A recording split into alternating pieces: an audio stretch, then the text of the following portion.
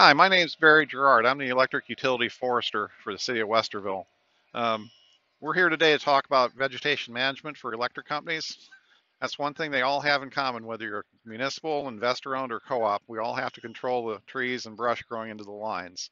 Uh, we're out here to provide safe, reliable power. In order to do that, we have to trim the trees and sometimes remove them. Tree outages are one of the most common causes of outages for an electric company and uh, it's also one of their major expenses on maintenance.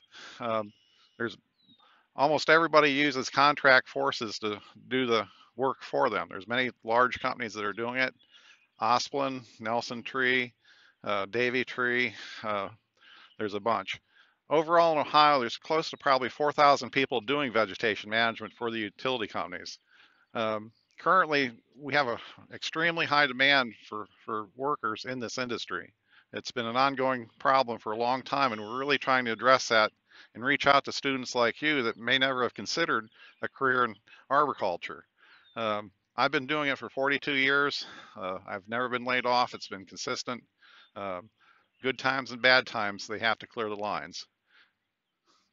Okay, today what we're going to be looking at is uh, we're going to have people from my crew, it's a Westerville Electric Division, and also Asplundh tree experts are going to do a few demonstrations for you and we're going to have the employees available for you to ask questions to. We're going to be looking at some trimming, some removing, some specialized equipment. Uh, don't be afraid to ask questions.